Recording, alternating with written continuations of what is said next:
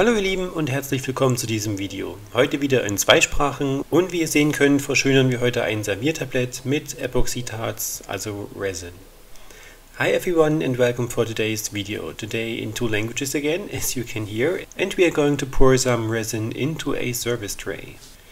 Die Serviertabletts, die ich benutze, habe ich euch unten in den Amazon-Links mit verlinkt, falls ihr euch auch welche bestellen möchtet und es ebenso versuchen wollt. Von den Farben her ist es diesmal relativ simpel. Das ist einmal ein Telo Blau Acrylfarbe, eine Resin Pigment Paste in Weiß und das gleiche in Gold und dazu noch einige Glitters. Die habe ich von Just for Online UK. Die haben eine super Auswahl an Glittern und im Prinzip für jeden Geschmack was dabei.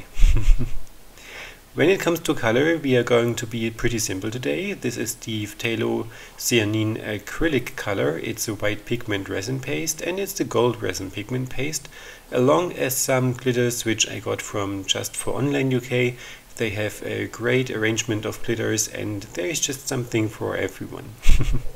Das Epoxidharz, welches ich benutze, ist von Resonate. Das ist eine Firma aus Großbritannien und das Schöne an deren Epoxidharz ist, dass es schon nach 15 Minuten anfängt auszuhärten. Also nach ungefähr 4 Stunden ist es schon relativ fest und ja, gerade für solche relativ einfachen Projekte, wo jetzt nicht allzu viel machen muss, ist es das perfekte ähm, Epoxidharz, einfach weil es relativ schnell fest wird und man warten muss, bis alles wirklich seinen Endzustand erreicht hat. The resin that I'm going to use here is the Resonate resin and I opted for this one because it only has a 15 minute working time, which is pretty cool for such a simple and yeah, easy-going project because of the curing time is so short. It also is cured in about 4 to 6 hours and this is pretty sweet. If I would have opted for the art resin or the mastercast resin, which of course also is an option, but they have a way longer drying and curing time. Zu Beginn wie immer natürlich das Epoxidharz mischen. Es sind zwei Komponenten, in diesem Falle 50-50% Mix. Es gibt verschiedene Resins mit verschiedenen ähm, Prozentsätzen, wie sie gemisst werden müssen. Das steht entsprechend immer auf den Verpackungen. Immer sicherstellen, dass ihr wirklich alles gut verrührt. Es sollte am Ende eine klare Flüssigkeit sein. Wenn ihr noch Streifen darin seht, müsst ihr noch etwas weiter rühren. In the beginning, it is as always mixing the resin. It's a two-component chemical, so Mine is 50-50% mixed, but they come in different mixtures, so have a look at the bottles of course. And then you just pour both ingredients together and mix them as long as needed. There shouldn't be any streaks or stripes in the mixture at all, so it should be clear. If you see any streaks or lines in there, you need to stir a bit more. Mhm. Wegen den Blasen, die sich in dem Resin bilden, macht euch nicht allzu viele Sorgen, die gehen dann weg, wenn man mit einer Heißluftpistole oder mit einem Creme Brûlée Brenner drüber geht. Aber zunächst das Epoxidharz auf die entsprechende Anzahl Becher aufteilen, was ihr an Farben benötigt. Do not worry too much about the bubbles that build up in the resin. These will pop when we go over with the heat gun or a torch. Just make sure you have stirred everything well and then you can divide the resin into the cups that you are going to need according to the amount of colors that you are going to need.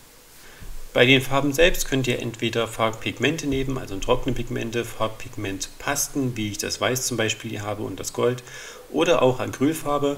In diesem Fall solltet ihr aber nicht zu viel Acrylfarbe nehmen, weil sonst das Resin relativ schnell dick und gummiartig wird und die Bearbeitungszeit extrem verkürzt wird. Also ungefähr 3 bis 5 Prozent äh, Volumenprozent von der Acrylfarbe im Verhältnis zum Resin. Bei der Pigmentpaste ist es nicht ganz so kritisch, die sind extra für Resins gemacht.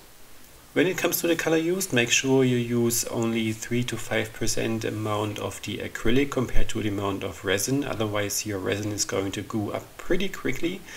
When it comes to the resin pigments, the dry version or the pigment pastes, you do not have to worry that much. The pigments as a powder do not really change the resin as a chemical and also the pigment paste doesn't change the behavior of the resin, but the acrylics do, so just be a bit more careful when you use acrylics. And other than that, you can use as much glitter as you like, because this also does not alter the chemical abilities of the resin. But make sure the more glitter you use, the thicker the resin is going to become. So if this is something you want to play with, go ahead. Von den Glittern könnt ihr auch so viel nehmen, wie ihr möchtet. Das ändert die Eigenschaften von dem Epoxidharz nicht. Einziger Unterschied, je mehr Glitter ihr nehmt, desto dicker wird natürlich die ganze Mixtur. Also wenn ihr damit etwas experimentieren möchtet, legt drauf los. And other than that, it is basically just pouring everything into your service tray. If you make an underpainting or not, it is totally up to you. The service trays that I'm using here are not completely even, so they are pretty cheap, so their bottom is a bit curved, which is a tricky thing to do with the epoxy. So if you want to have a really even surface, you can perhaps use some clear resin, make the first layer in there, level it out, and then make the design pour on top of this, just to be sure that everything is really even. Etwas, worauf man achten sollte, gerade bei diesen eher günstigen ähm, Serviertabletts, der Boden ist nicht wirklich komplett eben gewesen, also er ist leicht gewölbt, was natürlich die Arbeit mit Epoxidharz nicht ganz so einfach macht. Ähm, wenn ihr wirklich eine komplett ebene Fläche haben möchtet, nehmt einfach ein bisschen Epoxidharz, macht keine Farbe rein, schüttet es in euer Serviertablett und lasst es ausleveln. Somit habt ihr zumindest ein bisschen äh, ebenere Fläche, und können dann in der nächsten Schicht, wenn die erste getrocknet ist, ähm, mit eurem Design pur beginnen.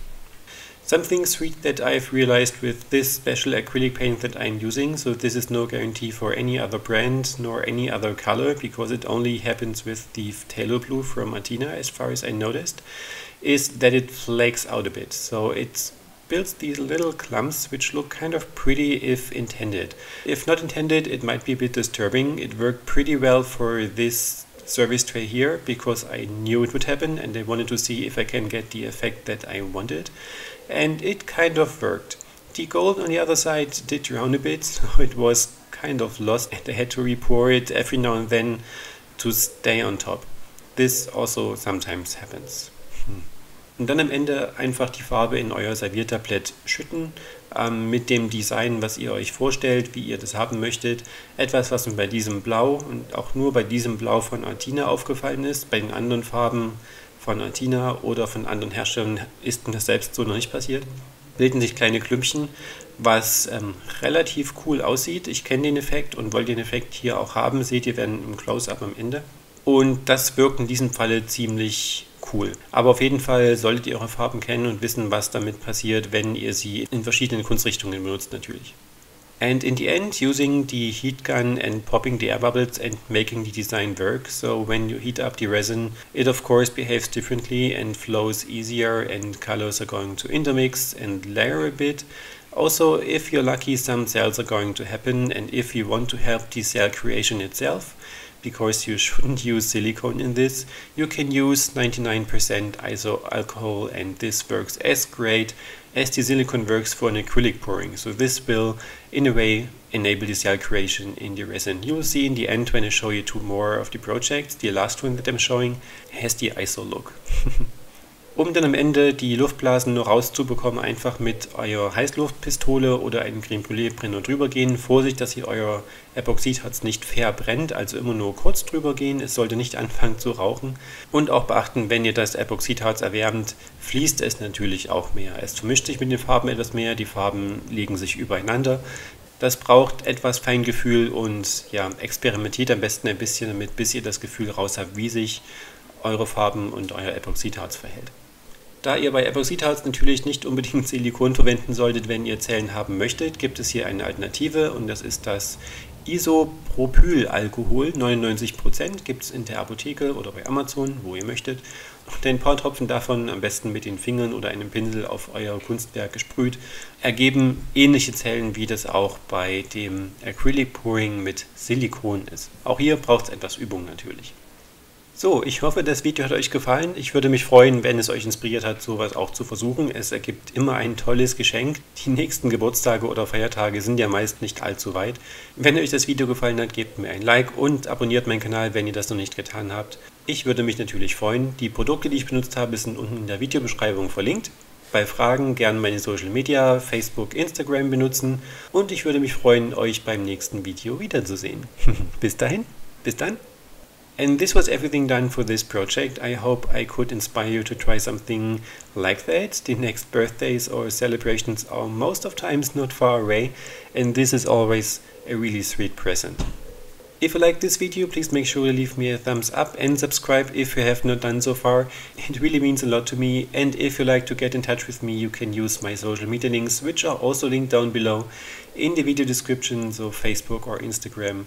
There you can also see what else I'm doing. Thank you for your time, thank you for watching, and other than that, I hope to see you in my next video. Have a great day. Bye bye.